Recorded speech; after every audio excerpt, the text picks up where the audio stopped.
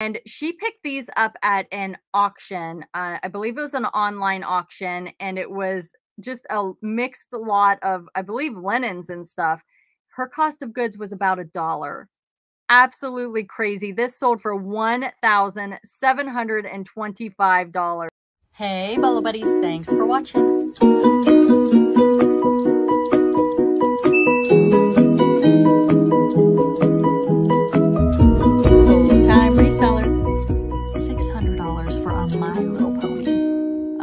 Right? All right, let's get started. Hey, Bolo Buddies, thanks for watching. All right, I've got 50 unexpected bolos coming your way, items that you can hopefully find when you're out sourcing at estate sales, garage sales, thrift stores, you name it, wherever you source. Hopefully, you can find these items and pick them up and sell them for big money. Some of these are going to surprise you. So, these are items that I have posted in my Bolo Buddies Facebook group. If you are not in that group, there is a link down below. Definitely go join. I'm also on Instagram. But on Facebook, I look for active auctions that are getting lots of bids because lots of bids means lots of interest, which typically means big money. So um, I post them in the group and then we can all watch them together. But sometimes, oftentimes, I post it and it's already big money and then I forget to go back and see what it sold for. So I have created videos to show you what those items end up selling for. It's a great way to learn. I've got a whole series on this, so go check out some of those other videos if you have not watched one of these before. And we're going to get started, and you will see what I mean. Just crazy what these items are selling for. All right, the first item is these buttons. And this one is not like a super big money bolo, but um, Nonetheless, these are buttons and you can pick up buttons all the time, but they are not all created equal. Some of these are made out of Bakelite and Lucite and different plastics that are collectible. And this is a, a really nice lot. So they could have parted these out. It would have been long tail and a lot of work, but uh, they decided to just sell them. I mean, maybe a crafter's buying this even a reseller that likes to part out buttons could be picking this up because there's a lot of really neat uh, buttons in this lot. Sold for $111.11 plus shipping. The next item are these vintage Boy Scouts of America patch lot. And wow, wow, wow, these must be something special. Um, how would you guys have sold these? Would you have sold them individually or in a lot like this seller did? Uh, sold for $10,767. Absolutely crazy, right? Um, I don't know. Let's see what they started the auction at. Sometimes I like to go in and check that out. There were 30 unique bidders. And if you look at the feedback of the people bidding, these people have feedback. It's not like it says zero and there's only two people bidding against each other. Now, did the person know that they had a big money bolo? They started the auction at $7.99. So either they knew and they knew it was going to go crazy or they just did not know. Um, but yeah, 30 unique bidders on that, $10,767. Here is another one. This one sold for $4,735.59. I think this was the same seller, but again, just lotted them up and let it ride just absolutely crazy, right? Right. The next item is this vi- vintage Western Germany shopper around the world tin wind up toy. And this only ended up going for $60, but still pretty cool bolo there. Um, 217 bids on that one, and the buyer paid shipping. So, 10 toys in general, I would always look them up. If you can get them cheap, just pick them up. Somebody's going to want it. All right, this is another one that's kind of like has me scratching my head. When I listed it, um, so OshKosh B'gosh, especially the vest back, which a vest back is, see that little triangle on the back? That's what you're looking for. These were trending a few years ago, big time. Some of them were going for hundreds of dollars. They are not trending like they used to be, but they can still still fetch a decent profit.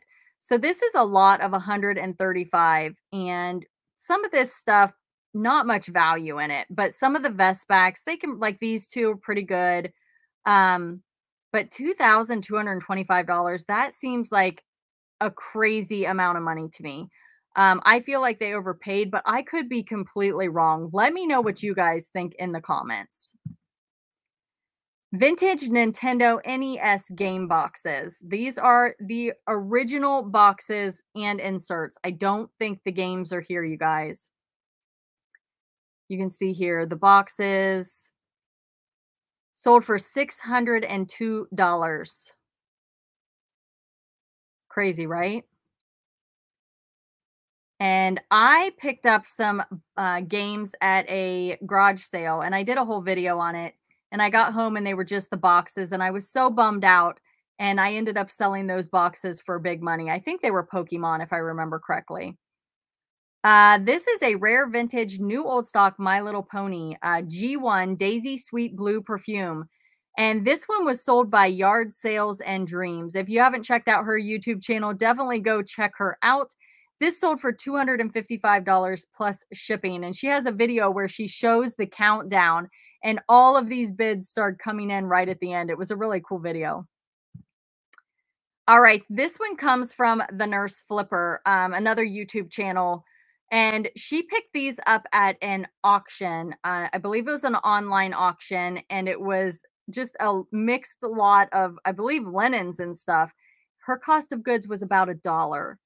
Absolutely crazy. This sold for $1,725. And she had another one. I think the other one went for a little bit less, but was still a lot of money and it's an antique vintage Chinese silk embroidered dragon roundel Qing Kangui period. I don't know what any of that means, but I think she figured it out with Google Lens. So I don't know.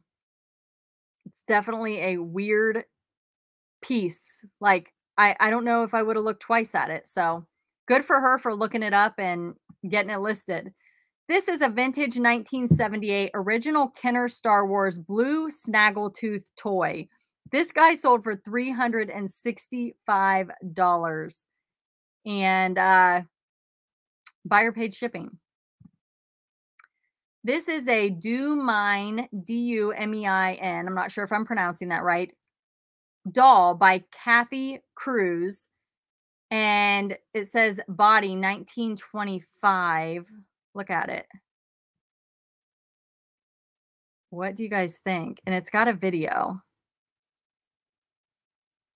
$1,474 for this. How crazy is that? Let me know. Would you have bought the baby or walked right by it? All right. This is a vintage QVC Boyd's Mini Peaker Bear May Mayberry Flower.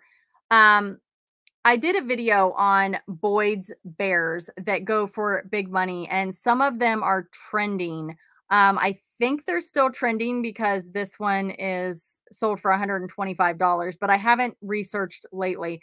But definitely go check out that video so you know what to look for. Um, and double check, search them, and make sure that they're still trending. But some of them can go for big money, and it's a, the certain minis, but it's not all of them. So check out that video to uh, get some ideas, or just search. You can search solds too. All right, Pokemon TCG First Edition Moltres Fossil Rare. This card sold for $77 plus shipping. So it's a Pokemon card. The next item is this vintage 1983 Crystal Barbie and Ken. Never removed from box. That's what NRFB means. Sealed, sparkle and shine, head to toe. These sold for $255 plus shipping. The pink boxes are uh, typically from the 80s and the 90s, uh, they are starting to increase in value some. So definitely look them up. Not all are going to be big money bolos, but sometimes you get a nice surprise like this one. Vintage Golden Age comics covers only and some coverless pages. $616.67. And these are not in great condition. So that is just almost unbelievable, right? Wow. This is a rare vintage Canyon Group. Um, it's a chenille I think I'm saying that right. Moon and Stars robe. How cool is that?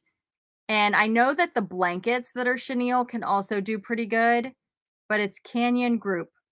Sold for $250 plus shipping.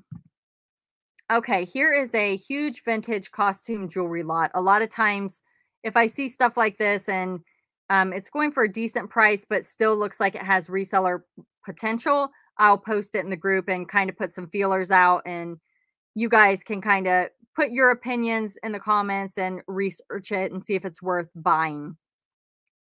This one ended up selling for $465 plus shipping, but it does say signed Trifari, Monet, Coro. So they picked out some of the brand names that they knew would draw people to the listing. 1984, a novel by George Orwell, hardcover, 1949 vintage, sold for $177.50, and the buyer paid shipping.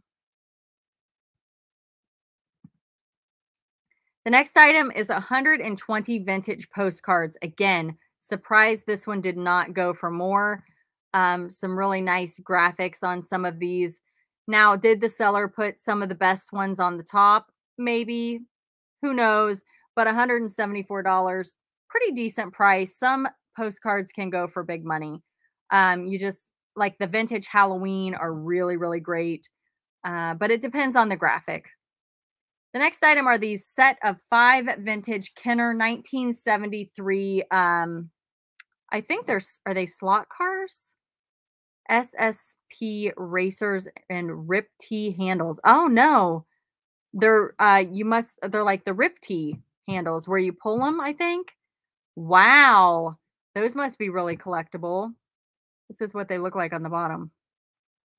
$1,101.80 plus shipping. The next item is this Beatles 1964 vintage talc powder canister. How fun is that?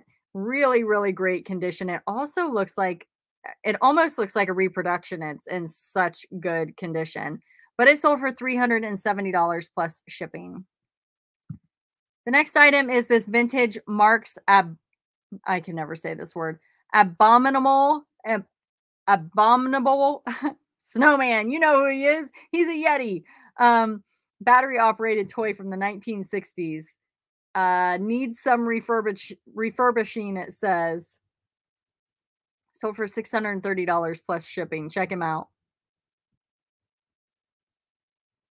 How cool is that? Anyone ever seen one of those before? Dark Side Destroyer, uh, Superpowers Collection. And or no, it's not dark side, it's Darkseid. Huh.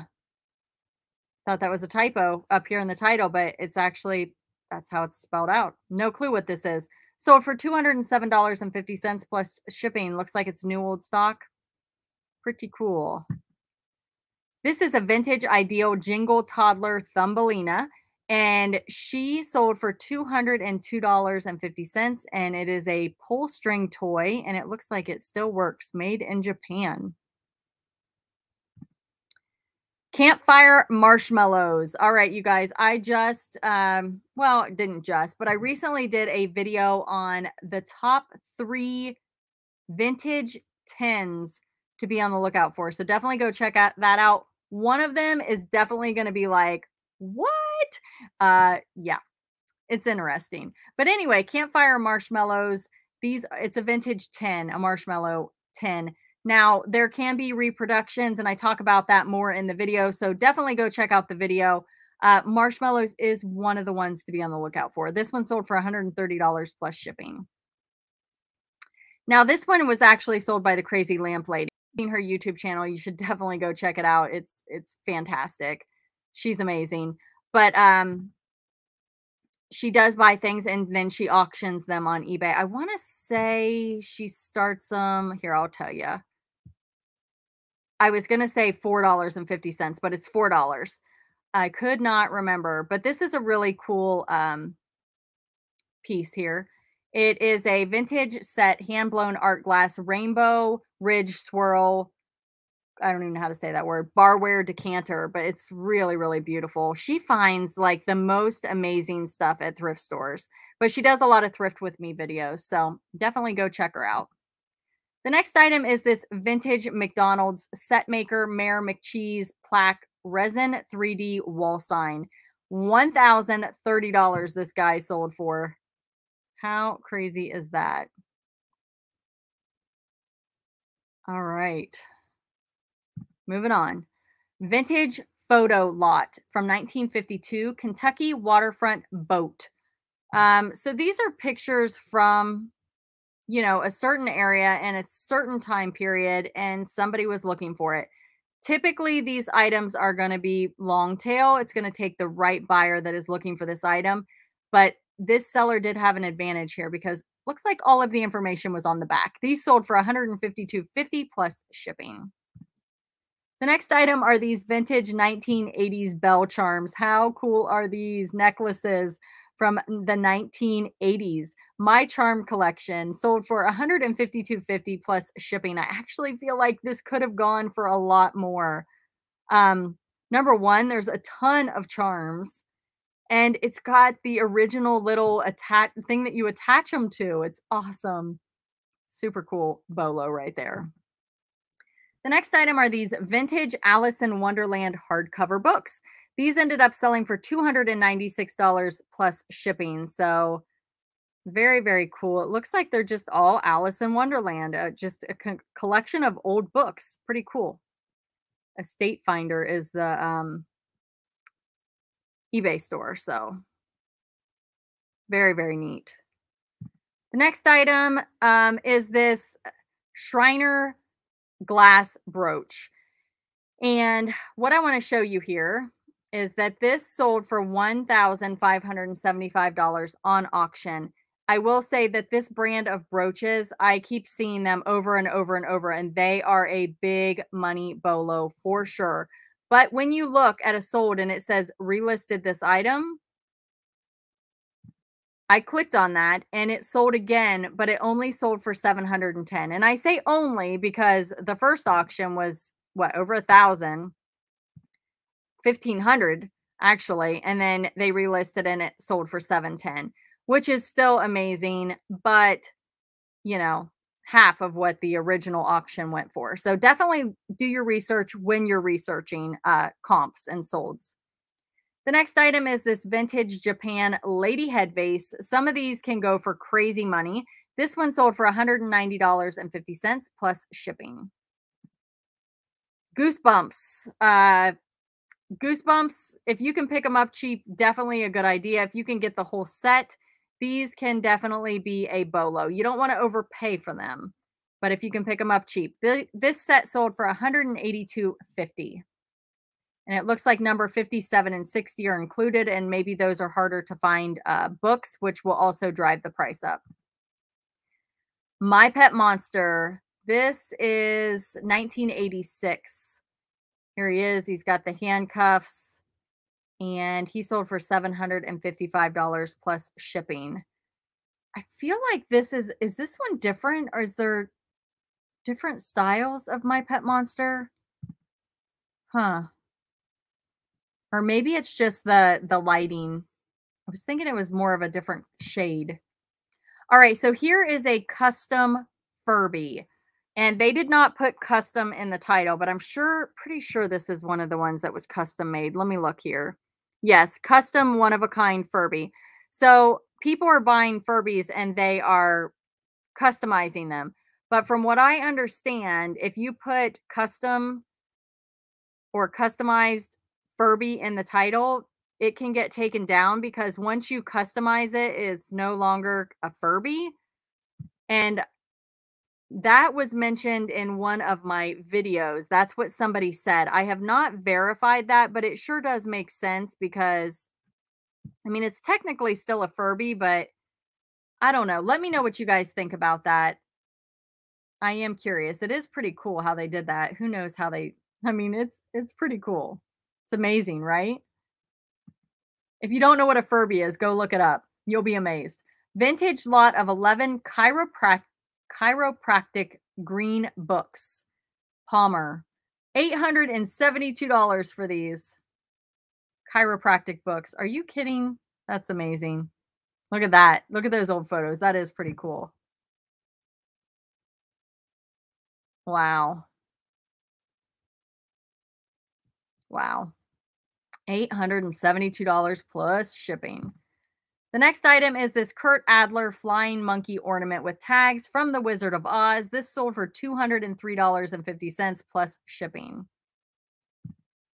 The next item is this excellent rare vintage ready cut cigar pipe tobacco tin. This is a tin sold for $2,033 plus shipping. The next item is this vintage 1969 talking Barbie doll. She sold for $472.99. She is the Titan red hair uh, Barbie. She's got the eyelashes and the bendable legs.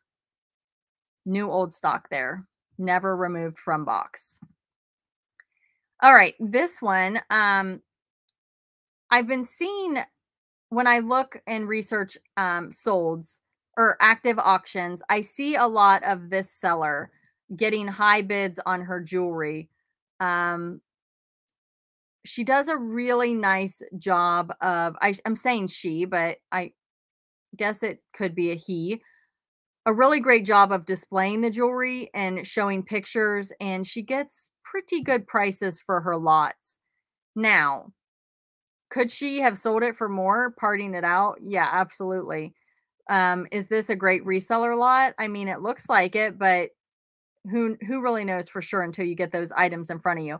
But she sold this for $281 plus shipping and it's 6.3 pounds, but her photos are fantastic. Vintage Tonka Orange State Highway Department hydraulic Land Rover pressed steel toy sold for $900 plus shipping.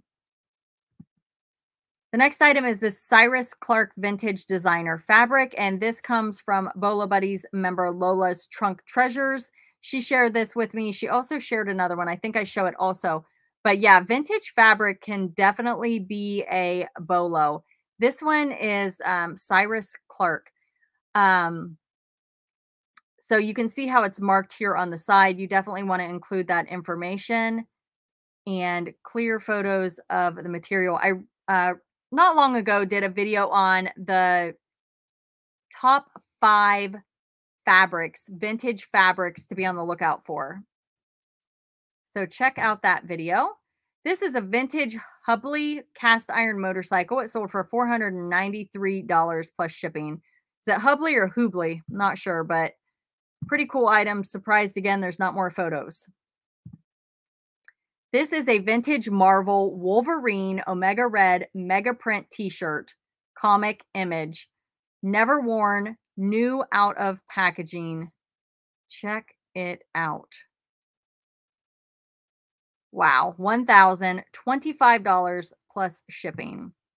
And as you can see right here, great seller, $1,025 plus shipping. Uh, sold feedback left, what I did is I went into the seller's feedback. I put in Marvel and I looked for this price. And there it is. It was a good, solid transaction. Yep, very cool. The next item is this vintage Superman watch from the 1950s. This guy sold for $455 and the buyer paid shipping. And you can see right here, it's got the original uh, receipt and everything with it. Super cool. The next item is this very rare challenge grade red head hen mason decoy duck. They don't even have duck in the title, and it sold for $2,935 plus shipping. The next item is that other, excuse me, that other fabric I was telling you about. This one only went for $65, but it's that same brand, Cyrus Clark. OshKosh B'gosh Vestback. Um, I talked about these earlier in the video. So here is an example of one that went for big money. This sold for $162.50 plus shipping. And we have this vintage, uh, it's an American Barn Star uh, Amish quilt. It's beautiful. And it sold for $368 plus shipping. Is that a stain right there? It says no stains, no rips, but that sure looks like a mark to me. You guys see that? The pink? Maybe it's just the light. I don't know, $368 plus shipping. Estate lot, over 100 vintage fountain ballpoint pens and pencils, some 14K tip. Check it out. Vintage advertising, guys. Eh, $685 plus shipping on that one. The next item is this vintage feed sack quilt grandmother's flower garden hand quilted beautiful sold for $440 and the buyer paid shipping. All right you guys that was 50 big money unexpected bolos items to be on the lookout for items you can hopefully buy low and sell high. Hopefully you can find them thank you guys so much for being here. Thank you for watching. Be sure to like comment subscribe and share. Videos coming up here and a subscribe and video down here. Check out another video if you're new here. Let me know in the comments how you found the channel. All right, you guys, thanks for watching.